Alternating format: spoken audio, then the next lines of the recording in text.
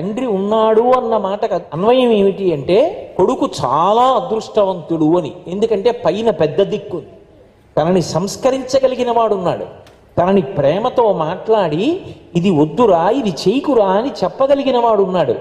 తన ఇంటి పేరు మీద వచ్చిన శుభలేఖని పుచ్చుకుని నన్నను వెళ్ళరా అని తన ప్రతినిధిగా పంపగలిగిన వాడున్నాడు. పరమ ప్రేమతో లాలించగలిగినటువంటి వాడున్నాడు. అటువంటి తండ్రి ఉండడం బిడ్డ చేసుకున్నటువంటి అదృష్టం. పరమశివుడు ఎదురుగుండా కనపడితే శంకర మీరు స్నానం చేశారా? అని అడుగుతాడా కొడుకు. శంకర మీరు బొట్టు పెట్టుకున్నారా? అని అడుగుతాడా. శంకర మీరు పట్టుబట్ట కట్టుకున్నారా? అని అడుగుతాడా. అడగడు. శంకరుడు కనపడగానే ఒక ప్రదక్షిణం చేసి నమస్కారం చేస్తాడు. నీ తండ్రి గారు స్నానం చేశారో చెయ్యలేదు. నీ తండ్రి గారు శౌచంతో ఉన్న బట్ట కట్టుకున్నారో కట్టుకోలేదో. నీకు అనవసరం. నీ అదృష్టం ఎక్కడున్నది అంటే తండ్రి ఉన్నారు. నువ్వు ఒక్కసారి ప్రదక్షిణం చేసి నమస్కారం చెయ్యగలిగితే చాలు. ఎక్కడికో వెళ్ళక్కర్లేదు. కైలాసంలో ఉన్నటువంటి పరమశివుడికి ప్రదక్షిణం చేసినప్పుడు ఏ ఫలితం కలుగుతుందో అదే ఫలితం కలుగుతుంది. విఘ్నేశ్వరుడు ఒకనాడు విఘ్నాధిపత్యాన్ని పొందడానికి పార్వతీ పరమేశ్వరులకు ప్రదక్షిణం చేసినప్పుడు నేను పార్వతీ పరమేశ్వరులకు ప్రదక్షిణం చేస్తున్నానని ప్రదక్షిణం చేయలేదు నా తల్లిదండ్రులకు ప్రదక్షిణం చేస్తున్నానని ప్రదక్షిణం చేశాడు. ఆయన తల్లిదండ్రులకు ప్రదక్షిణం చేసినది భూప్రదక్షిణమైతే నా తల్లిదండ్రులకు నేను చేసిన ప్రదక్షిణం కూడా భూప్రదక్షిణమే. కాబట్టి నమశంకరాయచ తండ్రి ఎవరు అంటే స్వయముగా శంకరుడే. ఆ పరమశివుడే ఇంట తండ్రి రూపంలో తిరుగాడుచున్నాడు. కాబట్టి తండ్రికి ఆ మర్యాద ఈ తండ్రికి ఆ గౌరవాన్ని ఈ. లోకంలో ధర్మము అని ఒక మాట ఉంటుంది. ధర్మము అన్న మాటకు అర్థం ఏంటంటే ఎప్పుడైనా సరే బాగా జ్ఞాపకం పెట్టుకోండి ధర్మము అన్న మాట నా వైపు నుంచి ఉంటుంది. అంటే మీరైతే మీ వైపు నుండి ఉంటుంది. తప్ప ధర్మము అవతల వారిని బట్టి మారదు. ఇది మీరు బాగా జ్ఞాపకం పెట్టుకోవాలి. నేను కొడుకుని మా నాన్నగారు కనబడ్డారు. మా నాన్నగారు చాలా డబ్బు మా తమ్ముడికి ఇచ్చేశారండి. అందుకని నేను ఆయన్ని ఎందుకు గౌరవించాలన్నమాట అన్వయం అవదు నేను కొడుకుని నాది పుత్రధర్మం. మా నాన్నగారు ఎటువంటి వారు అన్నది విచారణ చేసేటటువంటి అధికారము నాకు లేదు. అది పుత్రధర్మం అన్న మాటకు అర్థం మా నాన్నగారు ఎటువంటి వారు నిర్ణయం చెయ్యగలిగిన అధికారము నీకు లేదు. తేలికగా మీకు అర్థమయ్యేటట్టు చెప్పాలి అంటే జిల్లా న్యాయస్థానంలో ఒక న్యాయమూర్తి చెప్పినటువంటి తీర్పుని ఉన్నత న్యాయస్థానంలో హైకోర్టులో ఉన్న న్యాయమూర్తి పక్కన పెట్టి వేరొక తీర్పు చెప్పగలడేమో కానీ జిల్లా న్యాయమూర్తి ఎప్పుడూ కూడా ఉన్నత న్యాయస్థానంలో ఉన్న న్యాయమూర్తి చెప్పిన తీర్పుని పక్కన పెట్టి తీర్పు చెప్పలేడు. మనం పెట్టుకున్న వ్యవస్థలోనే అటువంటి ఏర్పాటు ఉంటే కన్న తండ్రిని సంస్కరించి మాట్లాడగలిగిన ప్రజ్ఞ నీకెందుకు ఉంటుంది? ఉండదు. ధర్మం అన్న మాటకు అర్థం ఏమిటంటే తండ్రి మాట వినుటయే. అయితే సూక్ష్మము అనో మాట ఉంటుంది. ధర్మము ధర్మ సూక్ష్మము రెండు ఉంటాయి కదా. ఒకవేళ కొడుక్కి బాగా ధర్మం తెలుసు. అన్ని వేళలా తండ్రి గారు బాగా చదువుకోవాలని శాస్త్రంలో లేదుగా ఒక్కొక్కసారి తండ్రి బాగా చదువుకున్నవాడు కాకపోవచ్చు. కొడుకు బాగా శాస్త్రాధ్యయనం చేసిన వాడు కావచ్చు. తండ్రి కన్నా కొడుక్కి ధర్మమునందు అనురక్తి ఎక్కువ ఉండొచ్చు. అప్పుడు ఒకవేళ తండ్రి ఏ కారణం చేతనైనా ధార్మికమైన విషయాన్ని ప్రతిపాదన చెయ్యకుండా అది ఏ కారణం కానివ్వండి కొడుకు మీద ప్రేమతో కానివ్వండి తన బలహీనతతో కానివ్వండి ధర్మ విరుద్ధమైన విషయాన్ని ఒకదాన్ని ప్రతిపాదన చేసి నువ్వు ఇది పాటించు అని కొడుక్కి చెప్తే అప్పుడు కొడుకు పాటించవలసినదేనా? నేను అడిగిన మాట మీరు చాలా జాగ్రత్తగా జ్ఞాపకం పెట్టుకోవాలి. నేను ఇందాక ఏమన్నాను? తండ్రి శంకరుడు అన్నాను. నేను అనలేదు వేదం అంది. వేదం అన్నదని నేను అన్నాను.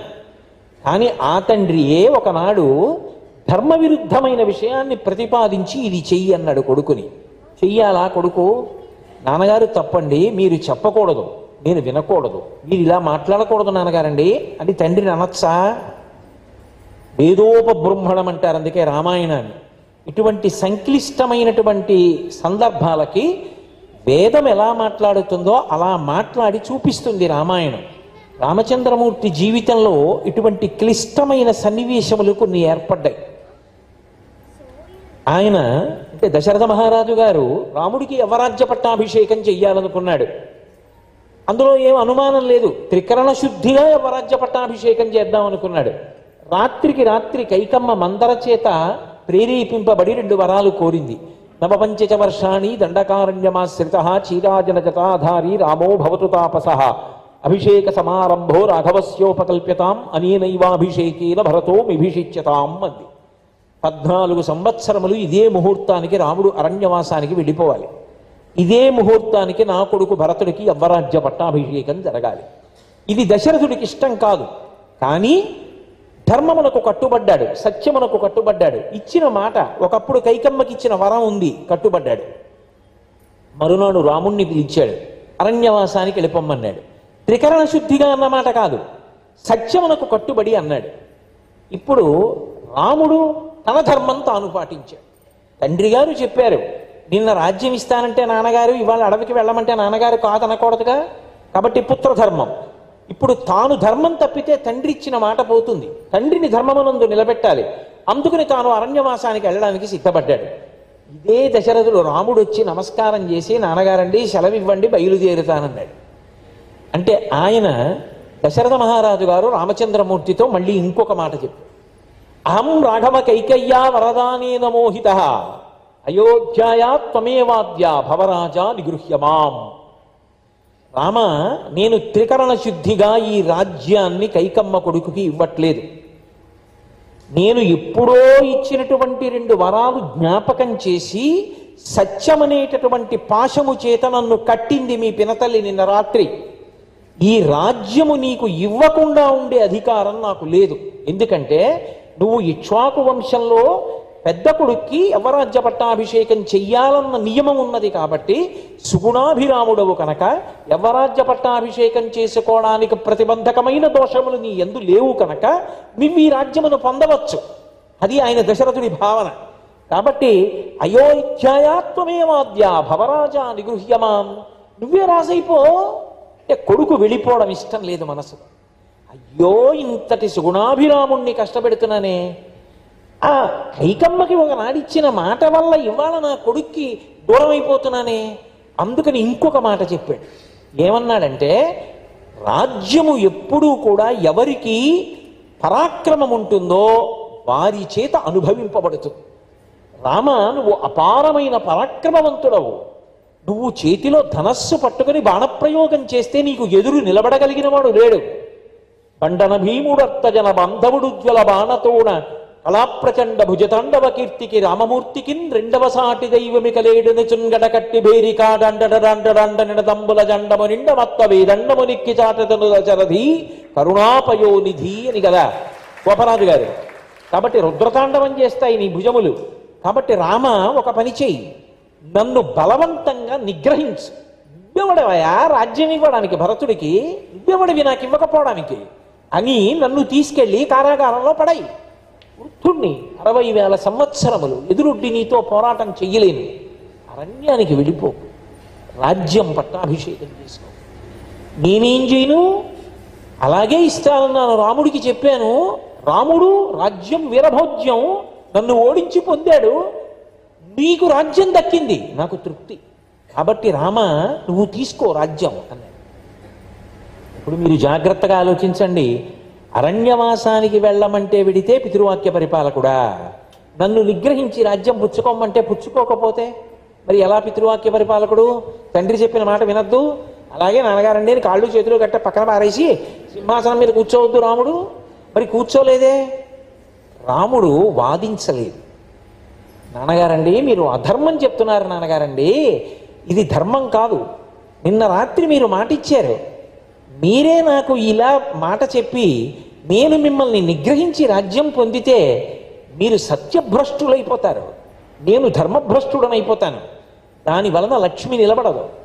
శాశ్వతంగా మనం వృద్ధిలోకి రావు. అని దశరథ మహారాజు గారితో వాదించి మాట్లాడలేదు. ఒక్క నవ్వు నవ్వాడు.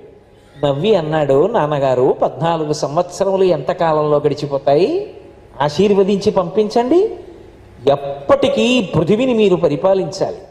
పద్నాలుగేళ్ళు చటుక్కున తిరిగిపోతాయి నాన్నగారు. నేను తిరిగి వస్తాను. వచ్చాక నాకు యవరాజ్యం ఇద్దరు కానిలేండి మీరే ఎప్పటికీ భూమికి రాజు కావాలి అన్నాడు. తప్ప భరతుడు అన్న ప్రసక్తి తేలేదు.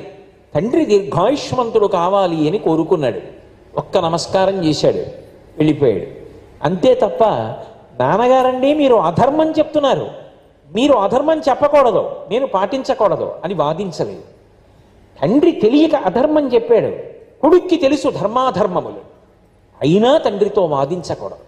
నమస్కారం పెట్టి నాన్నగారండి ఈశ్వరుడు మనకి శ్రేయోదాయకమని ఏది నిర్ణయం చేశాడో ఏ మార్గాన్ని పెద్దలు అనుష్ఠించారో ఆ మార్గాన్ని అనుసరిస్తాను నాన్నగారు. మీ ఆశీర్వచనం నేను ఇప్పుడు ధర్మబద్ధుడనై ఉండేటట్టుగా నాకు అనుగ్రహించండి. అని ఒక మాట అనాలి తప్ప తండ్రి మీద తిరగబడమని కాని తండ్రికి పాఠాలు చెప్పమని కాని తండ్రి యొక్క ధర్మాధర్మములకు నువ్వు నిర్ణయ నిర్ణీతము కమ్మని కాని శాస్త్రములు చెప్పలేదు అంటే తండ్రి యొక్క నడవడిని ప్రశ్నించేటటువంటి అధికారం కుమారుడు తీసుకోకూడదు. కాబట్టి పుత్రధర్మము తండ్రి అన్న మాటకి కుటుంబ వ్యవస్థలో ఎప్పుడూ జ్ఞాపకం పెట్టుకోవలసిన విషయం ఏది అంటే నా తండ్రి నాకు సాక్షాత్తు శంకరుడు. నా తండ్రి నాకు శివస్వరూపం. అందుకే మీరు చూడండి లోకంలో ఒక గొప్ప విశేషం ఉంటుంది. ఇది ఏం చేస్తుందంటే భౌతికంగా ఎంత శక్తి కలిగిన వాడు కానివ్వండి తండ్రి మంత్ర బలం ఎంత కలిగినవాడు కానివ్వండి విద్యా సంబంధమైన విభూతి ఎంత ఉన్నవాడు కానివ్వండి ఎంత స్ఫురణ శక్తి కలిగినవాడు కానివ్వండి ఎంత తేజోవంతుడు కానివ్వండి తండ్రికి ఉండేటటువంటి సహజమైన బలహీనత ఏది అంటే ఆ ప్రాణం కొడుకు కోసం కొట్టుకుంటుంది.